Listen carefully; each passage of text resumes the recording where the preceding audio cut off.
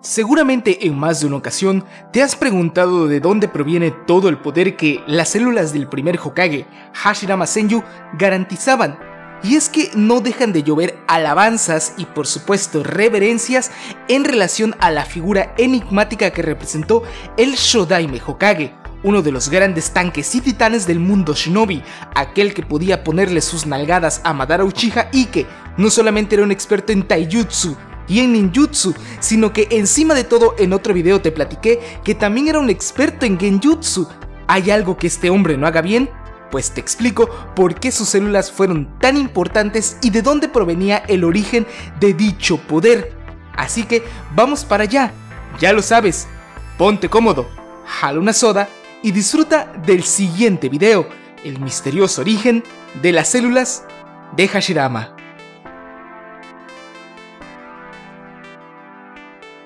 Bien, no es necesario decirte qué es lo que provocan las células de Hashirama, aunque realmente parecen que sirve para todo.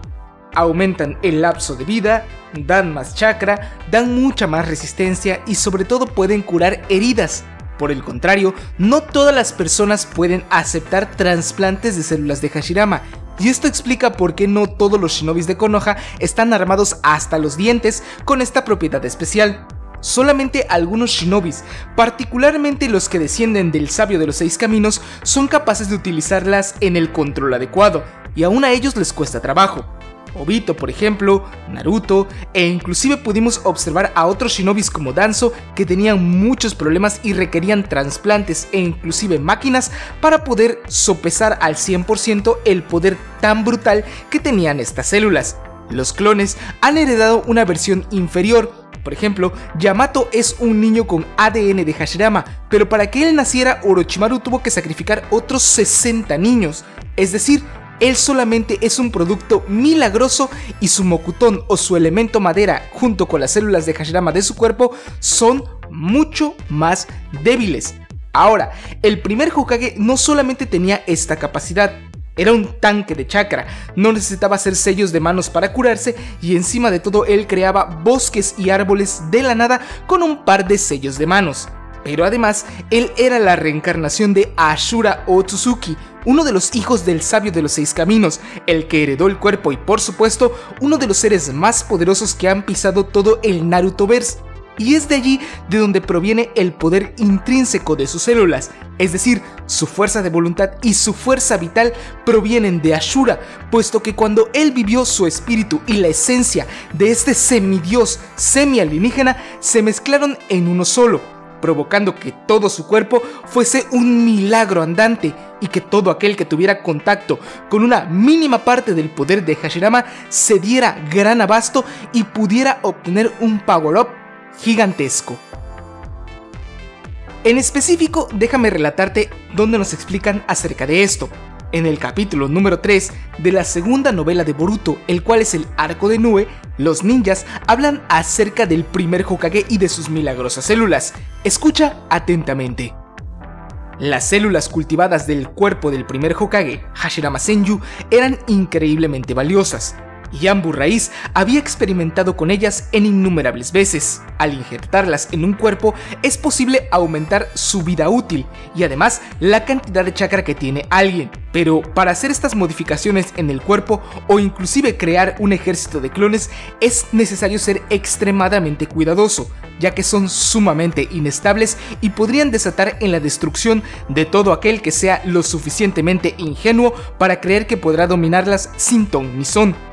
Estas células universales se habían utilizado para aplicaciones en super técnicas y para realizar conspiraciones, pero especialmente en la búsqueda de despertar el elemento madera al mismo nivel que tenía el primer Hokage. De manera sumamente sospechosa, Madara Uchiha había logrado lo mismo, y con ello había aumentado su poder, su tiempo de vida y al mismo tiempo había hecho evolucionar sus ojos al mezclar ambos ADNs para despertar el Rinnegan. Lo que Madara no sabía es que realmente lo que había conformado su cuerpo y que le había dado el acceso a los ojos del Samsara no era como tal la carne de Hashirama, sino el chakra de Ashura que estaba resguardado en cada una de estas células, que junto a las suyas de Indra y sus ojos lo estimularon para hacer nacer los ojos de Dios.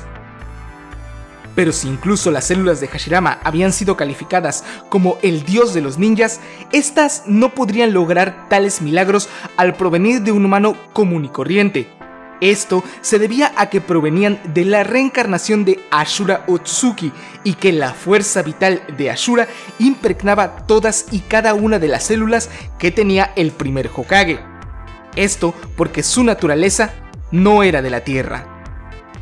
Así que, como ya observaste, realmente en la novela nos platican que todos estos milagros que se le atribuyen al primer Hokage es producto de ser la reencarnación de un semidios alienígena, y es por eso que tiene tantas propiedades y es universal. Por eso evita la ceguera, por eso da más chakra, por eso ayuda a no morir, por eso ayuda a mantenerse vivo inclusive con heridas letales, puede regenerar brazos, por eso es que da un power up increíble, el elemento madera, etcétera, etcétera, etcétera.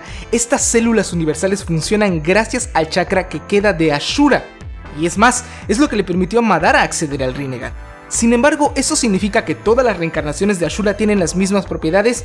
Pues sí, Efectivamente, todas las reencarnaciones de Ashura que han habido a lo largo de la historia del mundo shinobi tienen exactamente las mismas propiedades, inclusive la reencarnación actual, la de Naruto, es decir, el séptimo Hokage y sus células, su chakra y prácticamente todo su cuerpo físico deberían en teoría tener las mismas propiedades. Y te voy a explicar por qué el séptimo Hokage y sus células tienen el mismo efecto que las que tienen las células de Hashirama. Ahora vamos a resolver ese misterio de las células de Naruto. Bien, el caso de Naruto es diferente, pero sigue siendo una reencarnación de Ashura, y es por eso que sus células son valiosas y poderosas. Número 1. Él es un descendiente del clan Uzumaki, no es un Uzumaki puro debido a que Minato diluyó la sangre de Kushina, pero aún con todo ello es bastante poderoso y su fuerza vital es extremadamente fuerte. Además, como Ashura habita dentro de su cuerpo, la gente ha estado buscando las células de Naruto, eso lo vimos en la novela de Sakura Hiden, donde un científico llamado Magire experimenta con las células del séptimo Hokage, o bueno, el joven Naruto Uzumaki en ese entonces, para crear un ejército de mini Kuramas, es decir, todas aquellas personas a las que se les injertaba las células de Naruto podían desarrollar una versión imperfecta y débil de Kurama, pero Magire experimenta en su propio cuerpo y es capaz de crear una versión de Kurama de las nueve colas, un gigantesco avatar de chakra que le permite inclusive lanzar bombas Biju. Así que imagínate la propiedad que tienen las células de Naruto en este punto. Lógico, Naruto no es un usuario del Mokuton, pero si algún otro shinobi se implanta las células del séptimo Hokage, seguramente ganará habilidades como mayor resistencia física y por supuesto mayor capacidad de chakra, propiedades originales de su linaje Uzumaki, pero potenciados por el poder de ser la reencarnación de Ashura.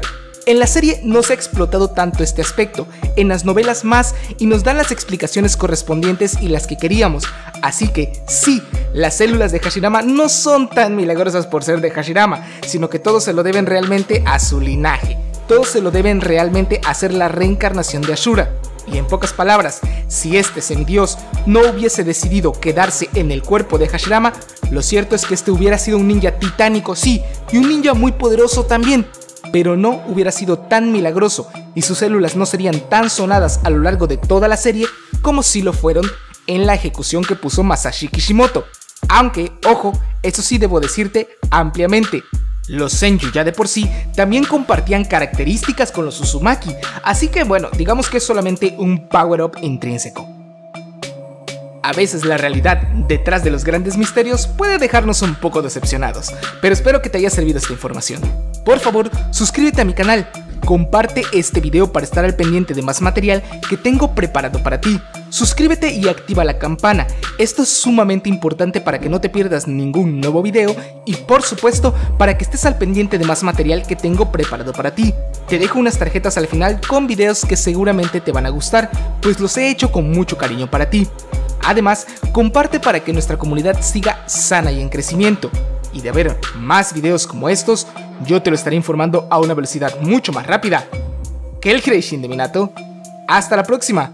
Ah, no me quiero ir sin recomendarte que visites El Ninja Rubio, que es una página que estoy haciendo en colaboración con Mr. Scorpion, así que ve y déjale tu pulgar arriba, pues estamos publicando contenido inédito y sumamente interesante en ese lugar.